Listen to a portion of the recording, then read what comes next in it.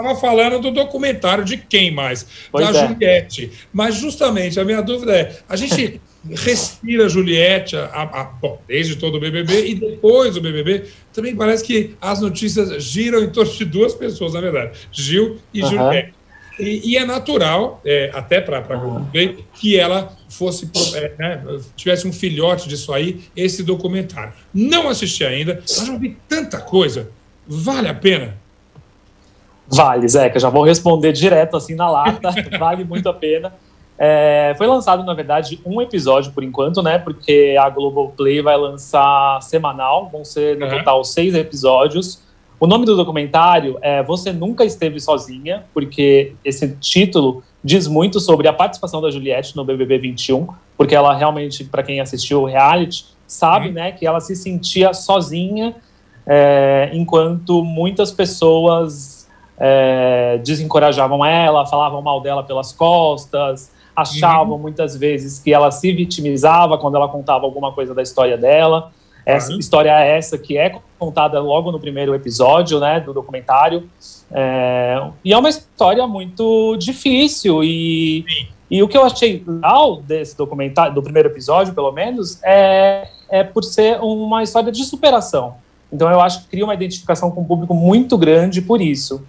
É, um prato cheio, é um prato cheio para os fãs. Quem é fã de Juliette vai se deliciar assim com esse um documentário. pouco dos fãs de Juliette, né? Eu, eu, até brincando aqui, eu achei que o próprio, É. o próprio título faz uma alusão a isso. Quando eu falo você não Exato. é porque você É. tem zilhões de fãs na Isso. internet, nas redes sociais. Acho que também é uma referência elegante para isso. Mas você Total. agora se preocupar com uma coisa. Você fala, primeiro episódio, já contou a história do passado dela, já Uhum.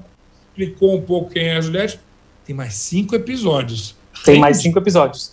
Pois é, essa, esse é o ponto é, que eu vou dizer como um ponto fraco assim do documentário, porque muita coisa da história da Juliette a gente já conhece. Então, Exato. assim, por esse por esse primeiro episódio não teve uma grande novidade, algo que eu vi que eu dissesse, nossa, isso me surpreendeu muito. É, claro que o documentário ele aprofunda é, histórias que ela já tinha falado, algumas, é, algumas outras partes, memórias dela que ela ainda não tinha contado. Por exemplo, tem uma curiosidade muito engraçada quando vou dar um spoiler, um pequeno spoiler, mas não é nada É. demais.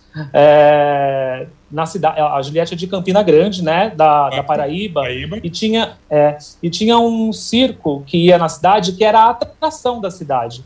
E a Juliette, ela era bem novinha e ela se apaixonou pelo palhaço, por um menino que fazia o palhaço do circo, mas era um amor platônico.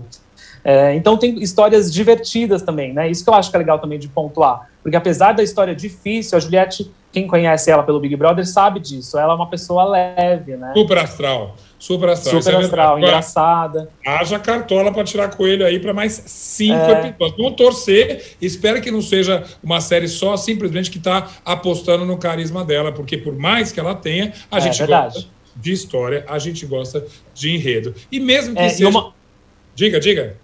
Não, o que eu ia falar é que uma outra curiosidade também que, os público, o que o público vai adorar é que eles contam é, a origem do nome da Juliette. Por que, que, esse no, por que, que a mãe dela escolheu este nome para a Juliette? Peraí, chega de spoiler. Você já deu um, então tudo bem. Imagino que os fãs todos já assistiram, mas tem gente como eu que gosta da Juliette. e É, que eu, quero, isso. eu quero ter essa notícia na série. Vou deixar comigo. É tá? bem legal.